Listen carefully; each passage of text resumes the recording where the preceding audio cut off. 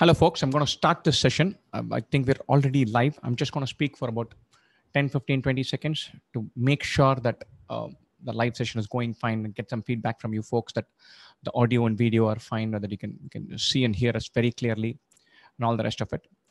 Uh, and once that is done, we'll jump in and start. And so uh, I, I'm just waiting for some feedback from all of you on, on the chat window to say that uh, things are fine. I think we've started more or less on time uh, I'm just waiting. Uh, there's obviously a lag between when I speak and when you guys can hear on YouTube. Obviously, there's going to that lag is going to flow through here. All is well. All is well. I think uh, I'm getting enough feedback saying that the technology battles have been won. And so we're going to start off on our first of our sessions, which are uh, which are the kind of college interaction session, B school interaction session. These are sponsored sessions. Uh, I think this is a very interesting idea that we have gone on to kind of explore. Uh, B schools are very keen to reach out to students. Students are very keen to uh, know about B schools and what, what is seen in MBA program. Uh, and, and we guys want to present one other type of content rather than saying, okay, how do you prepare for CAT? How do you do this? How do you do quant? Uh, and when we get our uh, when we get access to wonderful candidates like we have today we will showcase them and then and then have a uh, uh, have a session discussing different things. Fine. So i'm going to tell you one thing straight away. I've interacted quite a few times with mr Tarun Anand during this uh, this course. Uh, make sure that you take value from the session. So um, i can tell you that he he probably has a nice prepared script but he's going to be even better when he's shooting from the hip. So ask him questions all of you, many of you might harbor aspirations of being a CEO. He's been there, done that. His CV is fantastic. And so make sure that uh, anything that you have in mind, uh, you articulate it clearly and, and, don't let him get off here without answering all of them. Right? Lovely. So I'm going to switch out to uh, Zoom and then go on to, uh, I'm going to introduce Tarun Anand. And Tarun Anand established Universal Business School in 2009. India's first uh, Green B school. It's based out of Mumbai. He has an MBA from SPJIMR, Mumbai, and he pursued executive education at uh, Michigan Business School, Tuck Business School in the US, and IE Business School in Spain. And so he's got a glittering CV academically. He brought global best practices in management education to India through partnership with universities in UK, US, France, Spain, Italy, Switzerland, Mexico, and Bulgaria. 35 years of age, he became the youngest chairman and managing director of Thomson Reuters, and so of Thomson Reuters South Asia, and director on the board of ANI, achieving the highest growth rate across BRIC nations. Tarun co-founded and served as a global head of strategy and head of Asia Pacific at FX Market Space. He invented FX Settle, a revolutionary FX settlement solution, which was one which has won several international innovation awards. He, he did this in 2008. In 2005, he was promoted to global head of treasury to run a $2 billion business across 136 countries. And he was invited by the Reuters Group CEO to join the Reuters Innovation and Venture Board. He has worked for Thomson Reuters in London, New York, Hong Kong, and Mumbai. Tarun Anand has over 25 years of experience in financial services, banking, exchanges, and education, including working for Standard Chartered and HSBC. He's a TEDx speaker and has spoken at leading industry conferences across North and South America, UK, Europe, Africa, and Asia. And so he was awarded the Education Evangelist of India by Great Place to Study in 2020 and selected as Goodwill Ambassador, Global Goodwill Ambassador in 2018. And so this last piece is very interesting as well. He loves mountaineering and has scaled, scaled Mount Kilimanjaro and represented India in international rugby tournaments. I'm definitely looking forward to asking questions on that. And so uh, once again, it's, it's, absolutely lovely to have you on board, sir. Uh, many thanks for accepting our invitation and having a go at this session. I'm going to hand over to you and, and listen to your journey in becoming a global CEO. Uh, his CV speaks for, for itself, but the wealth of experience you've had in seeing multiple countries and multiple challenges in one of the most intensely competitive sectors, I'm sure it'll be a treat for us to listen to. So I'm going to hand over to him. And then um, at the end of it, we'll have a session completely on Q&A. So take in whatever information you can and whatever questions you have, post them on YouTube. One of us will have a look on it and then bring it back to him. Over to you, sir.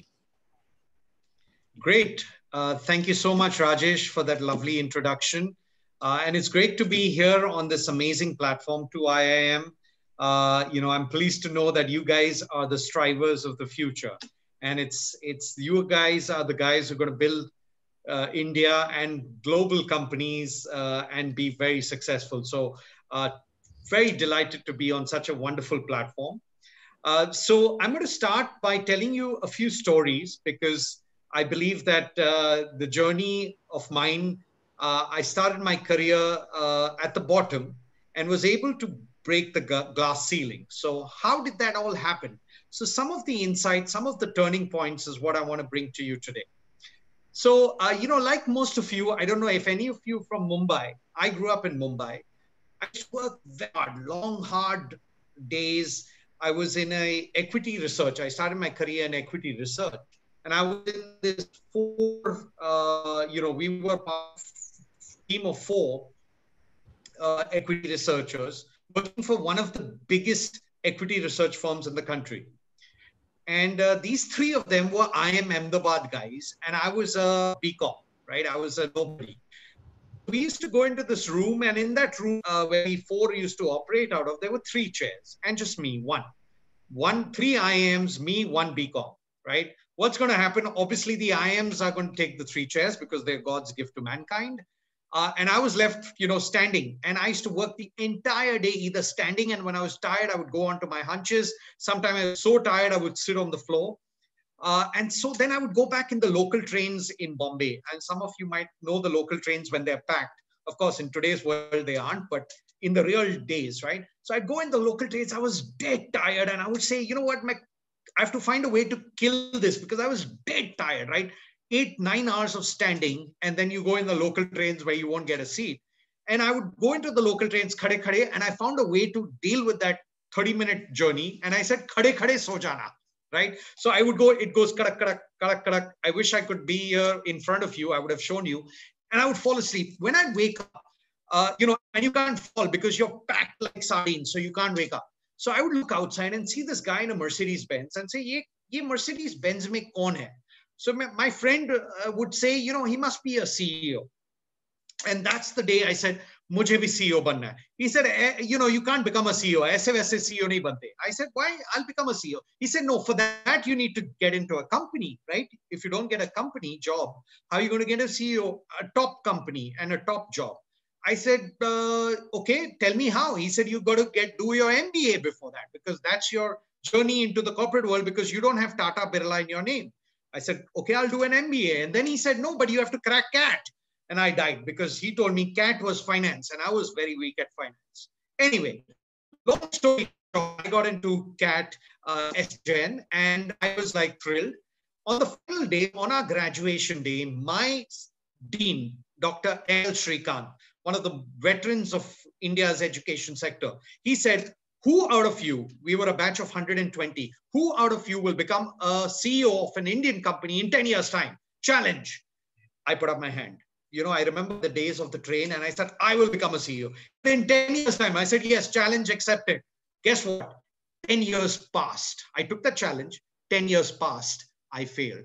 I did not become a CEO of an Indian company in 10 years' time, but I became a global CEO in 12 years' time. Chalega? I think chalega? Ya dodega, right? So I was running a $2 billion business, as Rajesh said, in 136 countries. Like it was just king on the king of the world, right? I was doing business with the Chinese, the Japanese, the Australians, the Southeast Asians, the Singaporeans, the Israelis, the Russians, the Eastern Europeans, the Americans, the Germans, the Brazilians, you name it. I had done business from South Africa to any part of the world, right? It was the best time of my life. I was just 32 years of, and I was a global CEO. I thought इससे बेहतर कुछ नहीं हो सकता. It got better. At 33 years, I was promoted to the board of a 40 billion dollar corporation. When I went for my first board meeting, I entered, and you know all the guys were goras and with white hair. And I entered as 33 year old guy. I they were 20 years older than me, and they looked at me wondering what am I doing here, and I looked at them wondering what am I doing here. Right? It was a it was a surreal moment.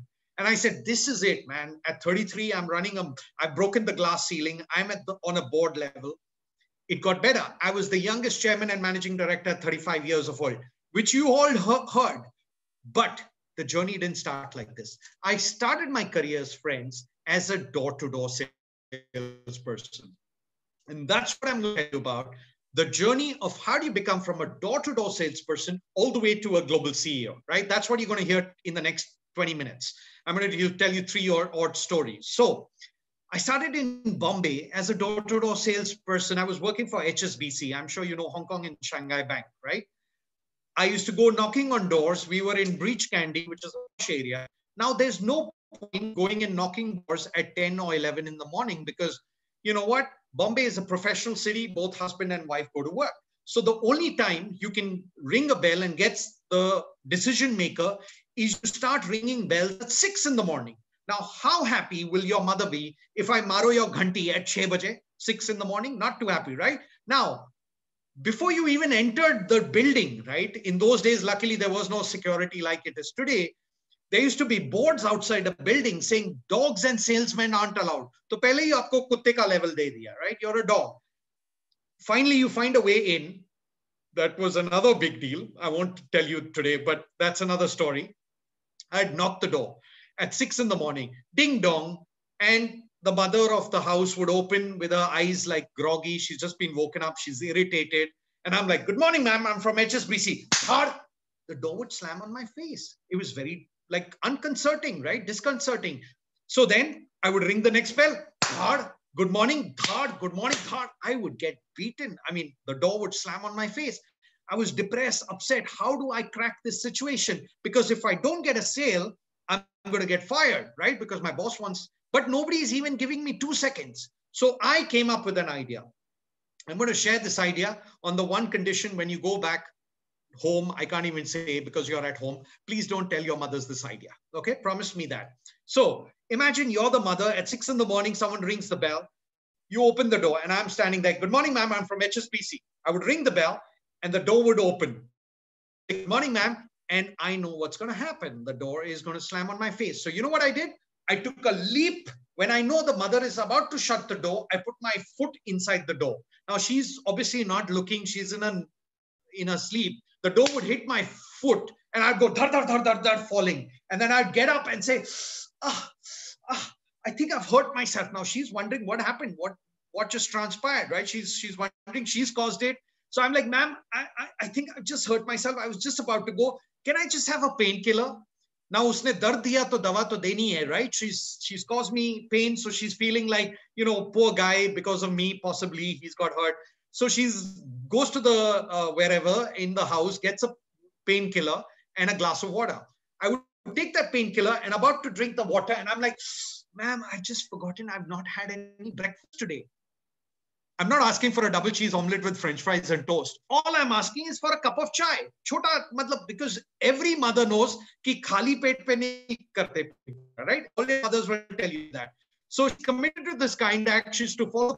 So she makes chai for five minutes, five, seven minutes. I take five, seven minutes to drink. It's 15 minutes. What then? Sale done. I wasn't getting two seconds. Suddenly I got a bonanza of 15 minutes. I made my pitch. I got a sale. Then it was Ghanti Fall painkiller chai sale. Ghanti Fall painkiller chai sale. Ghanti Fall painkiller chai sale. One shot, six painkillers. Suddenly the, you know, some people must be thinking Pagal Sardar But that's the way you do it, right? Now, why am I telling you the story? In life, there are going to be doors that are going to slam on your face. It could be the door of a, a job. It could be a door of a dream company. It could be a door of a business school. That's okay. Either find a way through the door or there's always another door. There's always another option in life. We don't have to give up in life, right? I'm a sports person. The beauty of sports is when you play cricket, you lose a match of cricket. Do you say, I'm never going to play cricket again? No. You say, okay, I've got to figure out whether my batting, bowling, fielding, what needs to be improved. That's what sports plays a big important part. And what is this concept of bouncing back? It's called resilience. So the fundamental thing, if you want to be a global CEO, is the ability to be able to bounce back, the ability to have the resilience, right? And if you don't have that, you're not CEO material, right? So that's the first and foremost uh, thing I'd like to share with you. Build resilience in yourself. Now, number two, smash. Uh, number two is taking risks. Can you guys see the slide? I just wanted to share a slide with you. Uh, taking of risks. Now, how many of you take risk in your life, right? How many of you take risks in your life? Now, if I were in front of you, I would have got a 50, maximum 60%. I've spoken about this all over the world and I don't get more than 60%. Now, why don't people take risks? People don't take risks because of the concept called fear of failure. What if I fail? I take a risk and I fail. What will happen? What will my, um, you know, what will my, India has big families, right? My kaka, kaki, cha-cha, chachi, ama, mama. Everybody say, oh my God, this, you know, he or she has made a mistake by taking a decision. I'm standing in front as one of the youngest global CEOs for one and only one risk, one and only one reason, because I have taken a million risks in my life and failed a million times. Wait a minute. You just told us two minutes ago or five minutes ago, you had this super duper success story of becoming a global CEO at 33 or 32. And now you're saying you have multiple failures. This equation doesn't either you're super duper failure or super duper success. Let me answer that question with an equation because you guys are going for cat you love equations, right? When I risk, I fail, I learn. The person who doesn't take any risks has zero failures, zero learning. In this VUCA world, right? The volatile, uncertain, complex world and ambiguous world that we both are in because of COVID, the only way to survive is by accelerated learning, not by staying safe. Staying safe, die, right? That's what companies do. If they play safe, you die if individuals play safe, you die. You want to keep learning. The beauty of taking risk is this. If you take a risk and it wins, great. If you take a risk and it loses, you learn. So you're accelerating your learning. So it's a win-win strategy. Yet people don't take risks. So my objective for you today is that after you listen to me, you start taking more risks because if you're not willing to do that, you're not meant for global CEO position. Now, everybody beats the deadline. I'm going to tell you a quick story. I was in London. My boss was a Britisher called Mark Robson. I uh, had an opportunity to, uh, you know, global management team. We used to meet every quarter to discuss corporate results and we used to discuss strategies.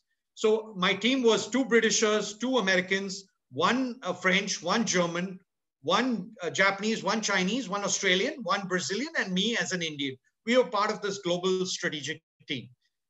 One idea uh, on one such quarter was that we need to acquire a $25 million company uh, based out of Frankfurt, Germany. So before we said, we all agreed it makes sense. It's got the technology and we were in financial markets. So we said, yeah. My boss said, no, before we go into this acquisition, we need to do due diligence.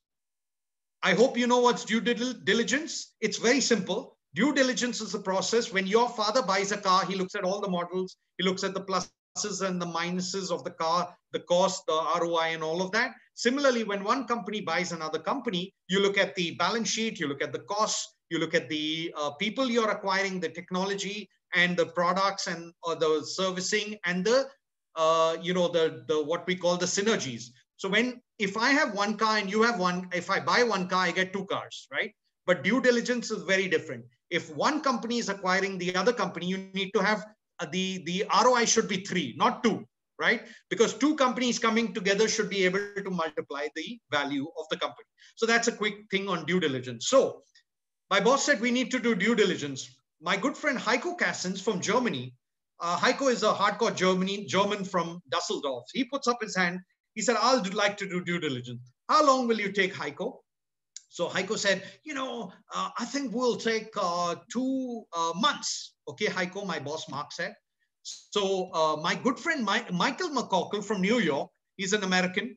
Americans always like to get under the skins of the Germans since World War right too. So so uh, Michael says, I'd like to do the due diligence. My boss asks him, how long will you take, Michael? He says one month right? So now the Germans damn frustrated because usne do bola, isne ek bola. So the Germans like, no, no, we need this kind of strategy. We need to do dig deep and we need to do this analysis. And the Americans like, we gotta go fast, fast, right? We gotta go fast. So they were arguing with each other. I put up my hand. Guess what? My boss called me, and I, my name is Tarun Anand, but in London I was called Taryn, right? Uh, so Taryn, what do you say? I said, Mark, I'd like to do the due diligence. How long will it take you, Taryn? By the way, I was called Taryn in London. I was called Tarun in New York. When I moved to Hong Kong, I was, I can't even tell you what I was called. It was a disaster, right? The Hong Kong, the Chinese messed up my name. I can't even tell you what it was. So, Taran, what do you say? I said, I will take two weeks. So the German and American who are arguing with each other, they pounce onto me. You don't know anything. You've come from India. You have no experience about European markets. You're going to screw up this deal. I was like, oh, my boss entered and said, no, let Taran do it. Right? So I said, okay, guess what? First flight I could find to Frankfurt that same day, I flew to Frankfurt. When I landed Frank in Frankfurt, what was my thought? I have never done due diligence in my life right? So back against my wall, I had to do nothing else but work like never I have worked before, 20 hour days for two weeks. And finally, I give my report to my boss, right? He's looking at it and he's like, but it's got a mistake. And I said, Gai bhais pani mein, I'm going to get fired. But he completed the report and he said, but it's got enough for us to take it to financial due diligence and uh, do NDAs, non-disclosure agreements, and we'll get into the sale process. I was like, wow, I breathed the Americans, the Germans, and I was on top of the world. I forgot about that story. Six months later, I get a call from my boss. My boss says, Taran, come and have dinner with me. I'm like, okay, my boss was based out of New York. I was in London. My boss must have flown to London and we'll have dinner in Chelsea at his favorite restaurant. But I realized that day from my secretary that the dinner is in New York. Here I'm sitting in London. My dinner is in New York. What do I do? I run from uh, Canary Wharf in London uh, run to Heathrow Airport, buy myself a suit because I don't know what's the occasion, fly business class to New York, John F. Kennedy, shower, get ready, get, get to the dinner at 7 p.m. In the dinner, my boss, boss opens a bottle of Dom Perignon champagne, right? One of the most expensive in the world. And he says, Congratulations, Taran. You're the new global CEO of the treasury business. I was like, wow. You know, laddu putre the. I was just 32 years of age. I am global CEO in 132 countries. You know what is the first thing that came to my mind? अब हम गोरों पे राज करेंगे। इतने साल उन्होंने हमारे ऊपर राज किया। But I couldn't tell him because he's a gora right? It was just one of those surreal moments. So i said why me? Why did you choose me? Because all my colleagues remember the brits the germans the french? They were all friends between 15 to 20 years older than me. They were from harvard wharton stanford oxford cambridge.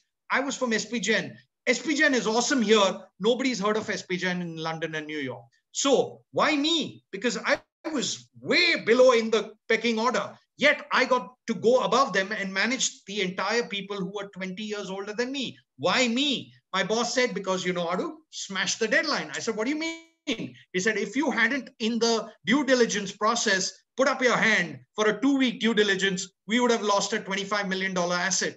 I said, I don't understand because our competitor, Bloomberg, had already put in a bid. And if you hadn't put in your week, we would have lost a, a massive asset, which would give us a competitive advantage. That's what I'm looking for in a global CEO. My life changed overnight. This was the most unbelievable event in my life. I was just like blown away. Then my boss says, but for this job, you need to move to New York. I was like very happy. I was living in, you know, Hyde Park right? Bang opposite Hyde Park with the Kensington Palace uh, next to me. He's like, move to New York. I'm like, no, I'm, I'm very pleased. He said, no, I have made the deal special for you. I have booked a penthouse apartment for you in New York's Times Square. I was like blown away. Penthouse apartment? He said, yeah, with downtown New York. Literally, I had downtown New York, Empire State on my left, Hudson Bay flowing right there with them, Intrepid and uh, Queen Elizabeth Park. It was just unreal. Only uh, Hollywood stars have penthouse apartments in New York's Times Square. I was in Times Square, right? Life changing, right? So, how does that happen? And then I'll tell you the fun part. Then I decided I want to move to Hong Kong. There's a story around this, but my boss makes it great. He's like, I'll give you a, a gorgeous apartment overlooking harbor, uh, Hong Kong harbor, and there are two swimming pools. I'm like, I need one swimming pool. He said, one in case you get bored. You know, that's the life when you smash deadlines, the world will throw the uh, carpet at you. And you just don't even to ask, it will come to you. The final story I have for you is how do you, uh, how many of you want a BMW?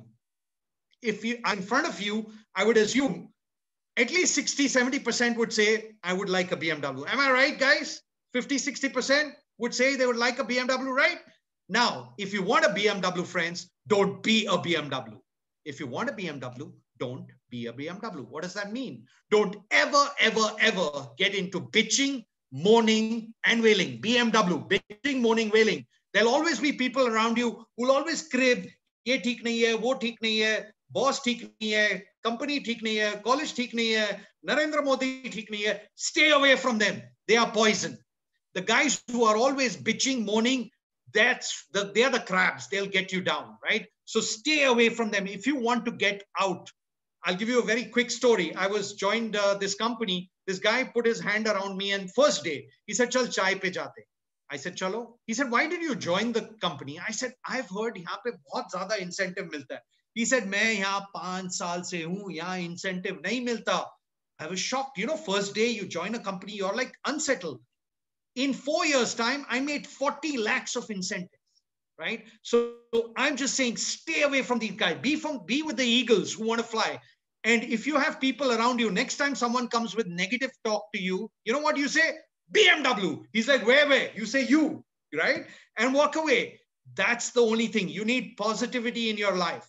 Now, there's one more thing I just like to share, and then we'll open it to Q&A. You can see this picture of me with one of the legends of India, Mr. Ratan Tata. I was privileged to do business with him, and I made a pitch. Do you know what's a pitch? You guys are going into business schools. You need to have an awesome, unbelievable, fantastic, sexy pitch. If you don't have a pitch, work on it. You'll crack the cat. What happens after cat? You have to have an amazing story to tell. Imagine you're in a lift. It's called, this concept is called an elevator pitch. Imagine you're in a lift. In that lift, there is uh, Sundar Pichai, uh, Satya Tata. Tell me something about yourself don't start saying I went to XYZ college, I went to XYZ school, I came from Lucknow or Karnataka. Nobody's interested in that. That's in your CV. You need to have something that can blow their mind, right? So develop an amazing pitch that can really like wow you. And there are several types of pitches, and we can talk about that in the Q&A if you're interested. So I, I just wanted to share that with you. Uh, and I'd love to have an interactive session where you can throw questions at me. So this is uh, snippets of my journey. I'm going to start again, just a quick recap.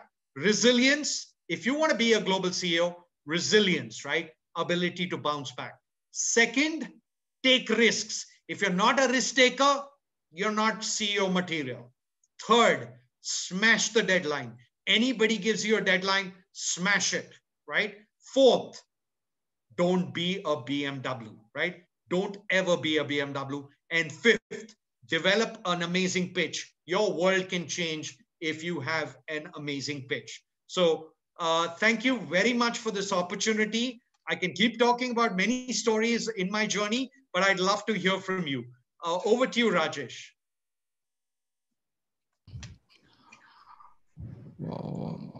Wonderful, sir. Wonderful. Absolutely wonderful listening to you. Uh, the, the the story format also worked wonderfully well. It's it's uh, I, I, really like the, the, the resilient part and the fact that you could uh, make a pitch and an impact. I think I have had a lot to learn. I think our uh, uh, the, the, stereotype uh, the, that that work that just I'm, I'm South Indian, so I'm naturally I'm not going to go out there and say I'll smash your business, which is that attitude has not served me well all, on occasions. So I should be we take a I take a lot of risk when we're building content when you're doing something, but not quite as much when you're when I'm putting myself out there. So uh, thanks a lot for that. I shall definitely strive to take more risk. And so it was wonderful having that session. Uh, I think we're going to uh, switch over to some questions from the from the panel. i will have a look at that. But I wanted to ask one question. I think one part of the story where uh, you, you you you were you had it all, and your story is very clear. You were you were a, been a raging success in, in your corporate career, but at some point, you went and started a school. Now, I'm a big fan. Anybody who goes and does something with education sector automatically has my approval. But uh, what is the motivating factor? What made you switch out and say, okay, now, now, now I'm going to I'm going to start teaching or I'm going to start up a, a school? What, what is the driver for that? Great. So, you know, I think everybody has a bucket list, right? You you have things you want to achieve in your life. So I had my bucket list like every one of you aspiring students unfortunately for me, I achieved it way beyond I had ever in my dreams and imagined, right? At 32 to be a global CEO, you don't even have it in your bucket list, right? People say 50 pe banenge ya global CEO, right?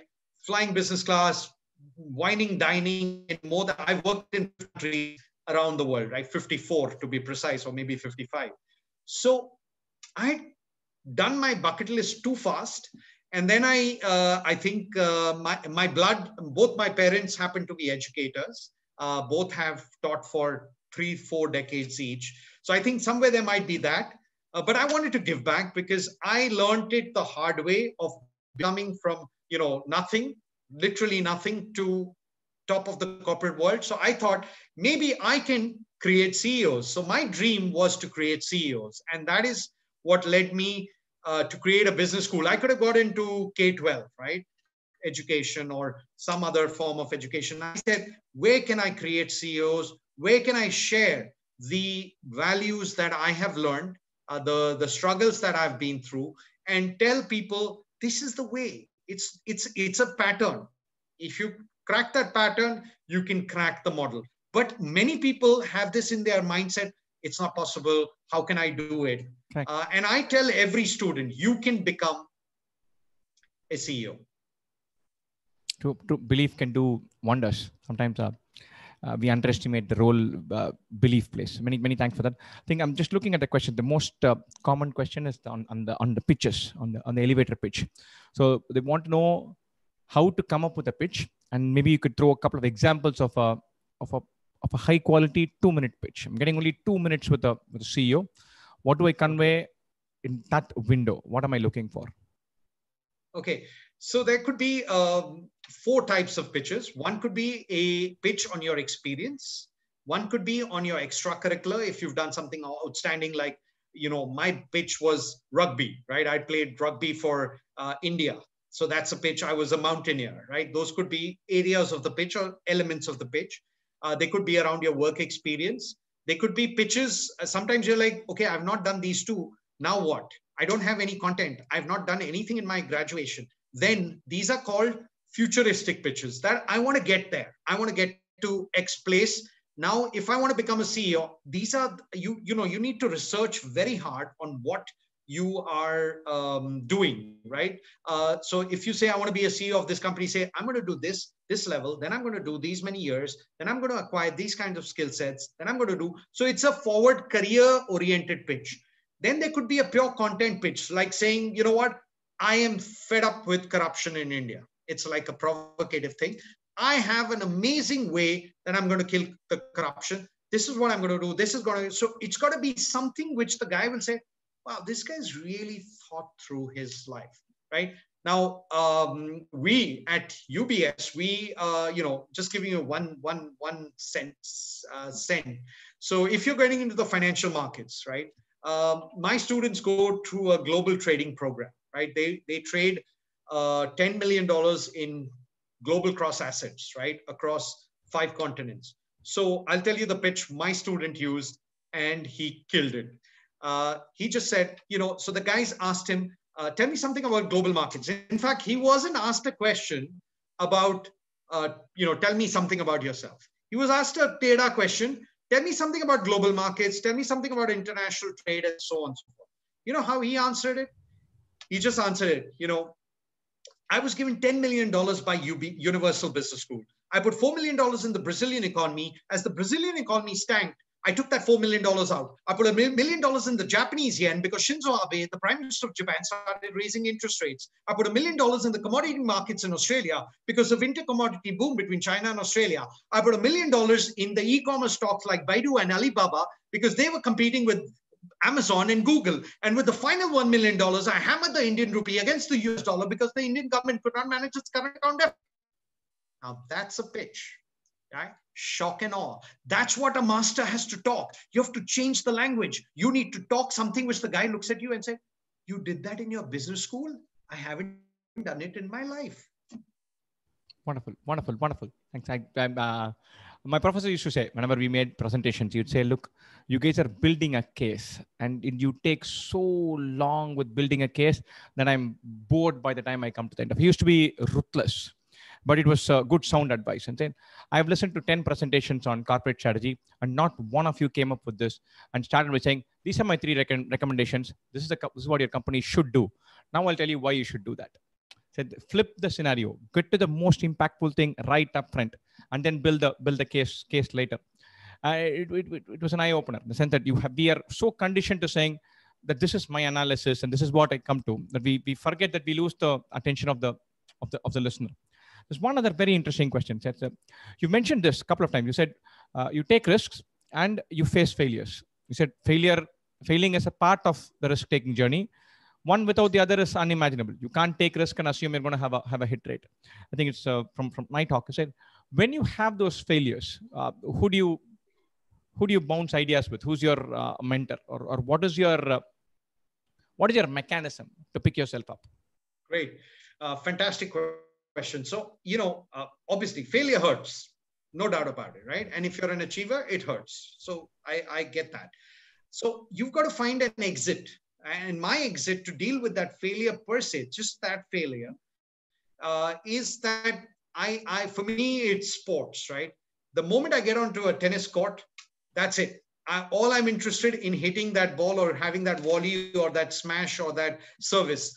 I've just forgotten about my past, right? So either it's a sport, either it's you know chilling with friends. You want to see a movie. You want to be uh, you know go to your loved ones. Just take yourself out of that situation so you can you know let it because everything yeah people lose lives unfortunately everything the human being is such a fascinating thing that everything we can digest It's just requires some time some people require some more time some less so just find a way to get that time to to zone out as such. And then get back to the board right? Saying okay what did i do right wrong? And then go into the analysis. And by the way you got to read a lot of books. So uh, I, I didn't have too much of a mentor. My father was a mentor but uh, I, I relied on a, a, like a galaxy of books. And you know that that really helped in imbibing you know what a Elon Musk thinks like, what a Jack Ma of Alibaba thinks like, what a um, uh, you know uh, all the greats. I mean, I can't go on. There are from Nike or Phil Smith or uh, there's just so many of them. I've read Lee Iacocca of um, Chrysler. So I must have read over a you know 50 autobiographies, and each of them. So people say, who do you look up to? I'm like, you know, all of them. Wonderful, wonderful, wonderful. Thanks a lot. I, uh, I've, I've been recounting kind of just opposing my own experiences. Uh, in all the pitches that you've said, I think I would have been a content pitch guy, not a not an idea or a dream pitch guy. So I, would be the kind of the, the polar opposite. When you're you're the person who says, "Look, I can do this. Give it to me." I'll be the guy who says, "If they call me, maybe I'll give it a shot." so, uh, the, but the one thing I find enormous uh, found enormous common ground is sport. And my my go-to place for picking myself up is usually sport. I like playing and I like watching as well. So uh, so I think that that sport as a place to de-stress is uh, heavily underestimated. We think it is, we, we, we get caught in our daily lives and we need to switch off and switch on back. And I love the idea where you said, look, I, I go back and switch off of this, then go get and get myself involved in, in sport and I can come back. But my next question this is my own question. So I want you to just give us a view of your uh, your mountaineering. Of course, rugby is wonderful as a sport, but mountaineering is, is, is one other level. So how was the experience and what is the what is the plan? How did you go about it? And when did this happen? Oh, this was as a child. I was part of the Duke of Edinburgh award scheme. So I did a lot of peaks in Maharashtra in the Western Ghats uh, and loved every moment of being out there in the wilderness. In fact, funnily enough, it always happened in and around my birthday. And I wouldn't even remember my birthday, right?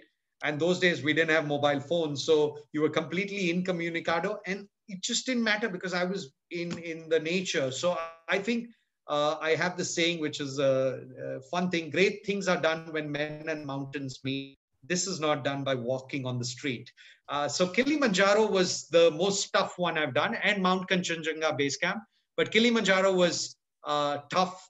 It was really tough. I mean, it's not that tough generally. I thought I was, you know, uh, I went from London to um, uh, Tanzania. I flew there and I was uh, like feeling like I'm I'm rock star, and I thought I could hit myself on the mountain. I was really surprised. I got on top with crutches. I got on top with crutches, and I came down uh, after I broke my entire thigh bone. So it was not uh, not pleasant.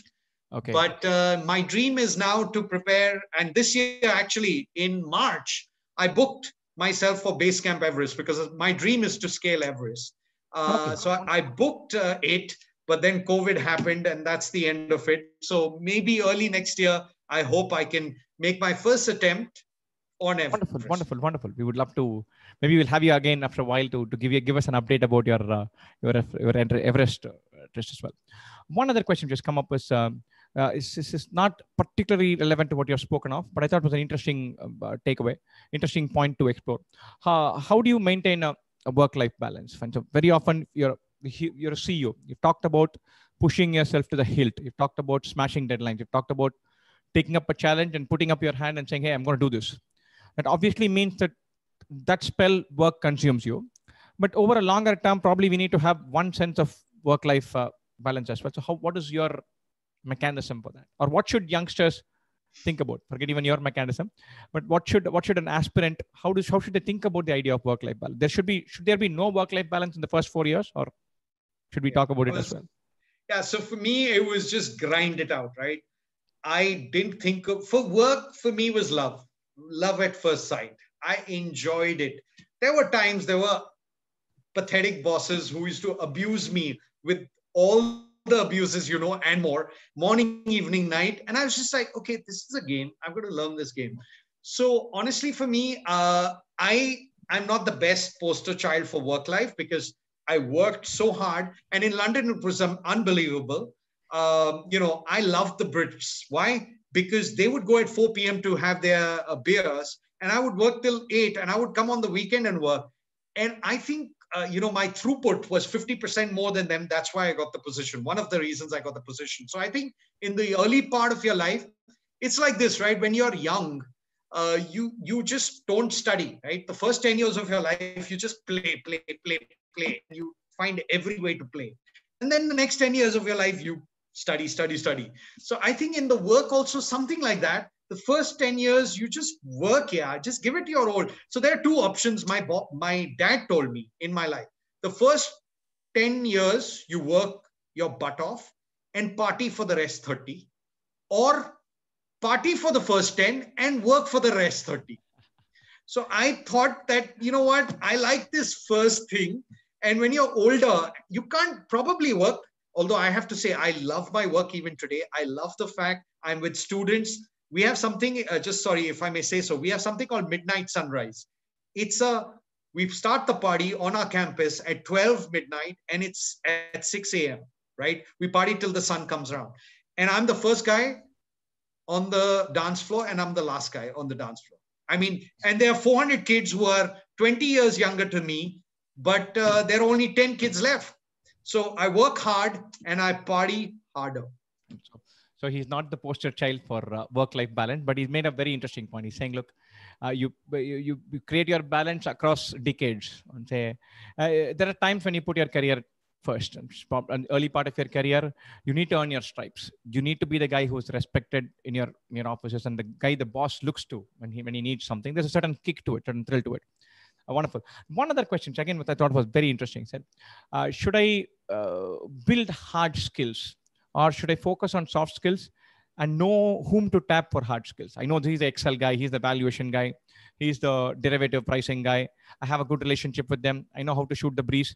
I can get my hard skills from outside and I'll be the soft skills person. Is that a viable strategy or should I build hard skills so, from, from know, the I, I think, I mean, it's like, uh, you know, should I eat or drink?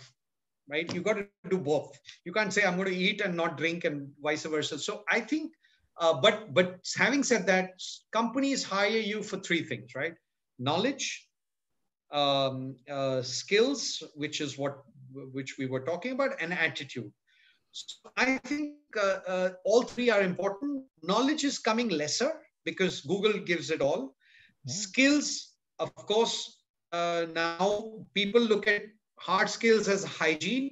If you want earlier hard skills was the differentiator. Now hard skills is a hygiene. It's moved from a differentiator to a hygiene. Now people are looking at soft skills because you're dealing with very complex ambiguous and and tough uh, situations where you need you need resilience and adaptability and agility right? So skills soft skill is going to help but attitude guys attitude is it if you can kill that that you can't fake it can be it'll come out like this in the workplace. So the way you you deal with your your superiors your colleagues attitude. So i used to be the guy. Many people would tell me in my early start of my career even today uh ye karna you know do this. And many people i would see around me saying this is not my job. This is not my job. And i was like wait a minute. I want to be ceo right and as ceo i have to do everything. I mean i'm responsible for everything. So there was never a time i said no. I said i'll do it. So i was the guy who put his hand up always. And that's what made me what i am today. So if you want to get to the top see it you'll get great careers i'm sure. But if you want to beat that top guy you got to say okay I, you know bring it on right right wonderful. Again i like the fact that uh, you made very clear distinctions and hard skills are the hygiene factor. And very often i find students focusing on soft skills which is brilliant crucial it will take you places but you can't get by without understanding the, the basics of uh, the nature of what you're doing. You can't just be a by a soft skills person. So make sure that your skill sets that are, can be measured and are tangible are in place. Then build a relationship and attitude to there's there's no there's no compromise on that. And so uh, one other question. What would you do when your best efforts, you smash ceiling after ceiling after ceiling? What happens when your best efforts are not recognized by your boss? What do you go through and what's your uh, coping mechanism, I can call that? Uh, you know, work harder. Uh, you keep working harder and you either make him wow. So the guy who abused me, um, you know, this was at Standard Chartered Bank, one of my old, uh, in, in the late 90s. Uh, I worked so hard that the guy used to eat out of my hand. And then when I became CEO of Thomson Reuters South Asia, he called me up and said, Can you get my son an internship? And I was like, Absolutely, right? So even those, okay, so back to 1991, when I was working with those three IIM guys, right? They were God's gift to mankind. As I said, they were smart as hell. I was nothing. I was a nobody. Uh, they wouldn't even allow me to sit, right, on their chairs six months. Read this book. Um, beware, no, um, swim with the sharks without being eaten alive. I read that book. In six to nine months, they were eating out of my hand.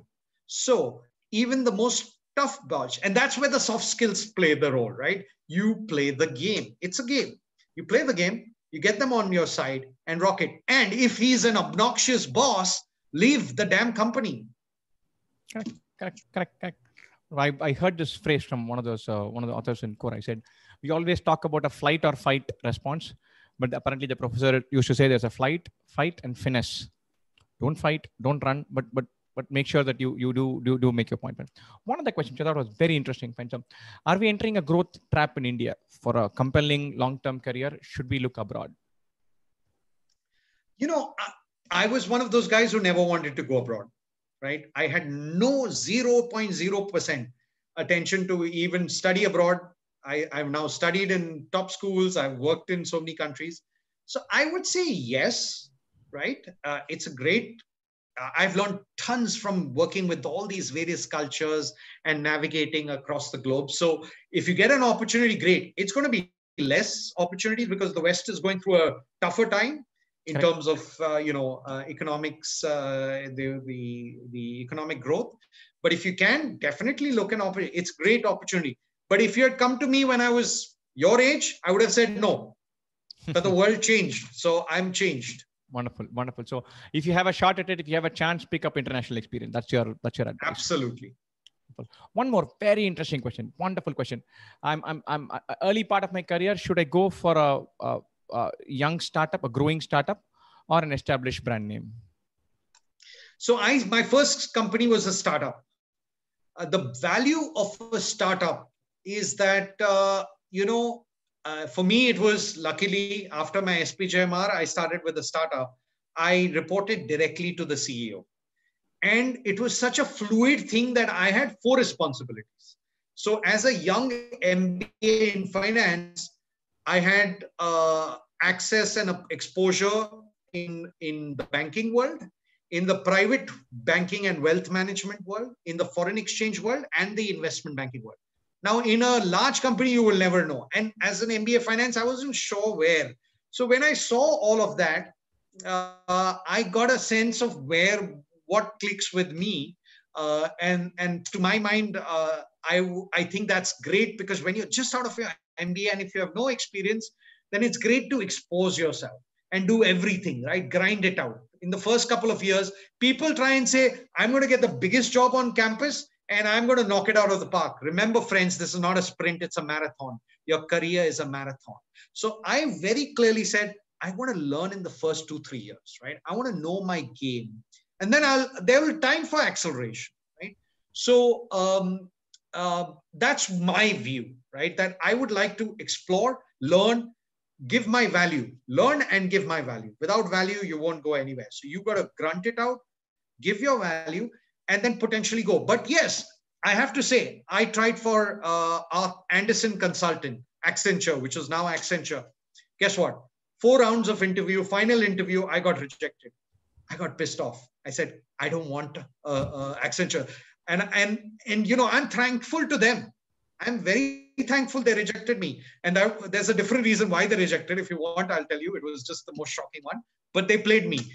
So I went for the big because always you want a nice thappa on your thing. I'm working for Deloitte. I'm working for KPMG and Accenture and Citibank and blah blah blah. But I started with zero. Uh, so I always say it's not how you start the game; it's how you finish.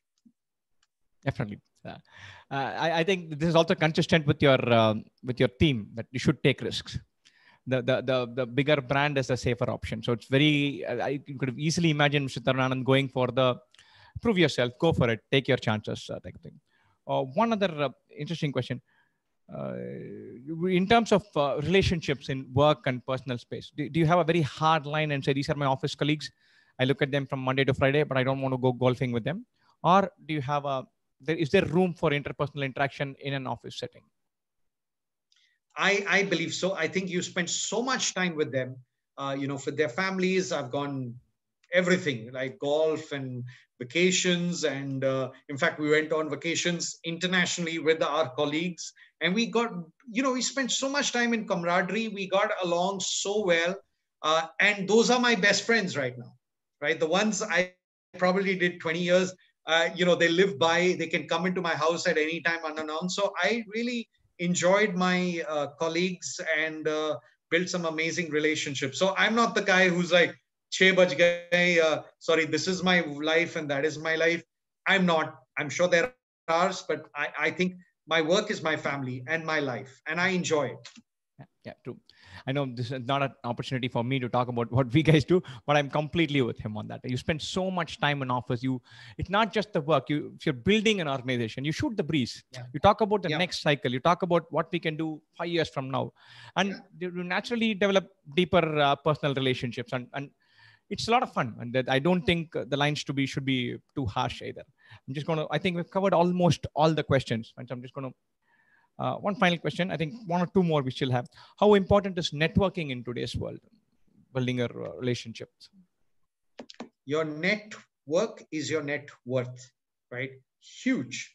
Um, so you know that that discussion with uh, that picture you saw of me and mr ratan tata was exactly that. So I think uh, a network can be, it's worth gold.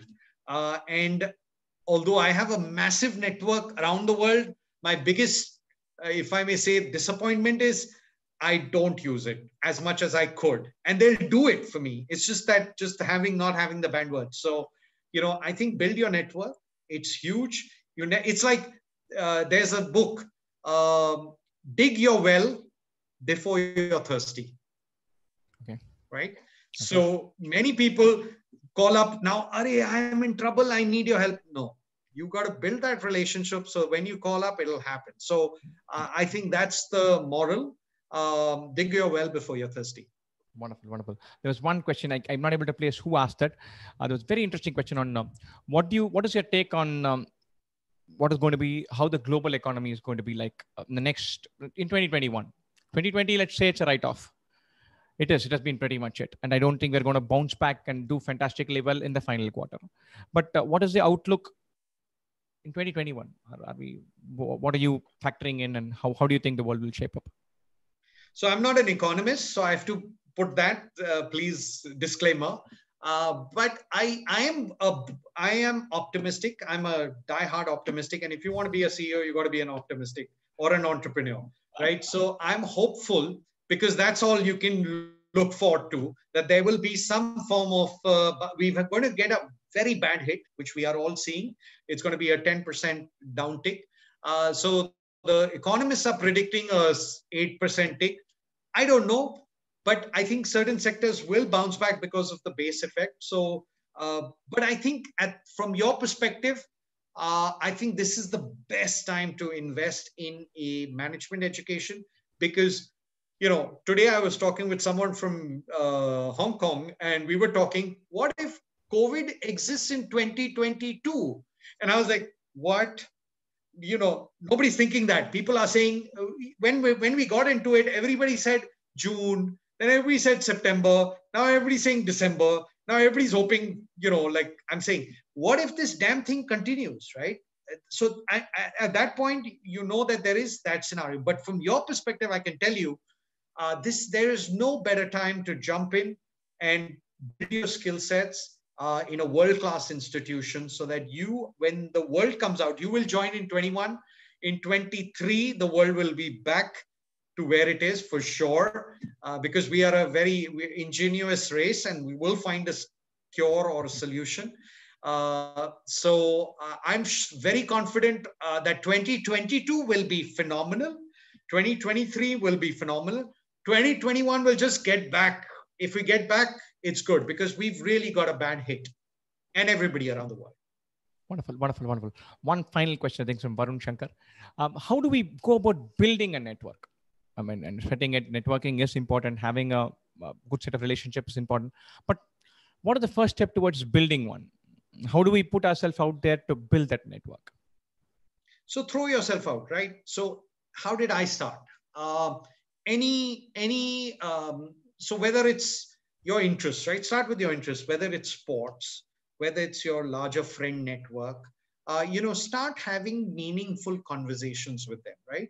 uh, i'm sure you have a network of friends and so on so at this point just go there then develop interests right you might be developing an interest in marketing or branding or advertising or finance or banking or whatever your relative interests or supply chain logistics start putting out reading content on it so firstly get yourself a fantastic linkedin profile without that don't even you know it's not even starting so get yourself a linkedin profile and bases your interests right you've read something, write a few of your thoughts, right? I think this could happen in the world. This is my view. It could be right, it could be wrong, it doesn't matter. You start broadcasting your expertise in the world of the, the professional world. And there will be people who start commenting on you. No, I think this is it. Or, you know, if you talk about a company or an industry which you're passionate about, so read a lot, put your ideas out there. People will respond and they will say, huh, you made a great point can we get connected you know and that's how it starts or you start being uh, also so that's one strategy content quality content out will get you a lot of responses and that's how you create a network second is you you actually uh, in your industry reach out to people and and there are, there are very good starts and say you know what i'm very interested in your profile i'm very interested in be complimentary uh, i'm interested in this industry I'd like to learn more. Would you mind getting us connected? And then you start those conversations slowly uh, and, and you build it over time and then throw yourself out into every network you can possibly do, whether it's Rotary, whether it's sports, whether it's some other, you know, associations, just throw yourself out. You know, I had the privilege, I, I, I'm telling you, I'm gifted by the Lord and I thank him.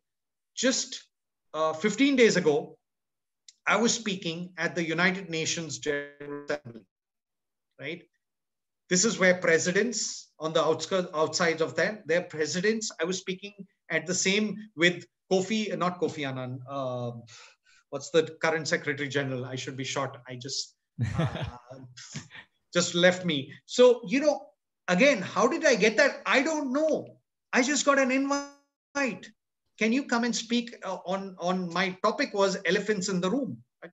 right and i was like yes so any opportunity you get just pounce on it Wonderful, wonderful, wonderful. Uh, there's a follow up on the MBA question. So I'm saying, uh, this I've heard too many times. I've heard it a lot of times. People are the students are uh, are worried about classes being heavily online and therefore missing out on campus experience. So to put it very bluntly, uh, there's, there's all of us are conditioned to thinking about look ROI. Am I getting enough value in an MBA if I spend a lot of time online? And so, fantastic question. So you know, I think uh, let me just take a side step. What is currently industry doing? You want to go into industry, right? Finally, ROI industry is going to give you. Am I right? Yep. ROI you're going to get from industry. What is industry doing today? Industry is working offline. They are making business meetings. They are doing everything from 100% from manufacturing setups. They are online. Now, you, if let's say tomorrow you had a job, like tomorrow, right? Tomorrow you got an offer letter. 99% of industry would say work from home. But you want to say, but I, I don't want to learn from home, but I want to, I will work from home, but I don't want to learn from home. So for me, the simple question is if there's World War III tomorrow, I'm going to make a very, very wild statement here. When there is World War, any, any World War or a war with China or Pakistan, God, God forbid, are you going to say, I'm going to stop eating? Are you going to say, I'm going to stop drinking? No, right? You need that nutrition for the body. What food and water is for the body, education is for the mind right? And you are only as sharp as you can possibly be. Now, everybody wants you in campus. Every business school, including mine, wants you in my campus. Can it happen? No, because it's a government requirement or, or a, a health requirement, right? So in a situation, if you're a business manager, you say, okay, I want that, but I can't get it because of regulation or whatever. So what's the next best? The next best is study from home but if you say, no, I want a better ROI and therefore I would not study, sorry, you are not CEO material because in, in a tough situation, you've got to find the best alternative possible, right? And this is the best alternative possible. Now, having said that, so I'm, I just set that as the base that education is not, it's food for the brain. You need to keep pushing yourself. My team on campus I can't, I mean, I can't even begin to tell you how grateful I am. They've just taken to a different level, which wouldn't have happened. From simulations to case blazers where 40 hours students are, it's, I mean, I won't say it's 90%, but it's 80% of what a 100% MBA would be. Can I get 100%? No, I'm not allowed. So can I take 80%? Yes. So take it. Goddamn. Don't start thinking of this ROI nonsense get the best possible solution in the given situation. That's what CEOs think. Yeah, yeah, wonderful, wonderful. I think. Uh, Sorry, I was being a little harsh. No, right, sir. We, we, we need to hear that. the show goes on. The show goes on. We, we, we make the best use of the show must go on. We need to make the best use of what we got. Of course, safety guidelines and norms are crucial. We'll listen to all of that, but we can't put a life. We can't put on pause. You can't pause. You can't pause your life possible, impossible. Uh, with that, I'm going to uh, uh, uh, call an end to the session. It was wonderful listening to you. It was a fabulous. We would love to have more of these sessions whenever you're, you're free, maybe once every three, four months or once every six months, we can jump in and, and, and generally shoot the breeze, just have a chance sure. with them. Sure. Uh, any final inputs, words you have for people who are preparing or aspiring for their MBA, each of them? And one final question is one question just uh, thought was funny. What is your favorite quote? So maybe you can, you can sign off with that the more you sweat in peace, the less you bleed in war. Okay. okay. The harder you work, the luckier you get. The harder you work, the luckier. So I put in two quotes. Um, so I, I will end with that because uh, to me, uh, just put in your effort and you know the results will run after you. I've seen it run after you. You don't have to chase the results. The ROI will be, you can't even imagine the ROI, friends. You can't even imagine I couldn't even put it on the on an Excel spreadsheet if I had thought about it. So those who focus on the ROI are the ones who are going to stay behind. Those who focus on the effort, and this is what Mahabharata says, focus on the effort, leave the results. They will come. If you are true to your heart and true to your mind, putting in your efforts, nobody's going to take it away from you. Nobody can. Wonderful, wonderful, wonderful uh, final words. Thanks a ton for uh, dropping in and uh, interacting with the students. Many thanks to all of you guys who've, uh, who've come and, and, and, asked wonderful questions. I think we had a nice interactive session. I think the, the, the first part was brilliant, but then the questions were uh, even juicier, Fantastic. even spikier. I enjoyed the Q&A. I um, did too. more than I did. Uh, wonderful. Thank you. Thank you so much. It was uh, Absolutely. it's good to uh, listen to the, the students saying, look, what, what do you need to do? Very often when we guys do, we focus so much on preparation that we don't do enough of the MBA. What, what, what are their aspirations post MBA or what do they want to take value from the MBA? Uh, many thanks. I'm going to uh, say goodbye, good night, and wonderful weekend to all of you. Have a great time. Prepare hard. Make sure that um, give yourself a chance. This is a fabulous, fabulous exam. So uh, we have about six, seven weeks now to throw everything into it. And as he said, he kept one thing that is common through everything he said is that the input variable is in your hands. Throw tons of effort into whatever you do. Uh, and uh, may the force be with you. Best wishes, guys. Cheers and, and good day, good weekend. Bye. Bye.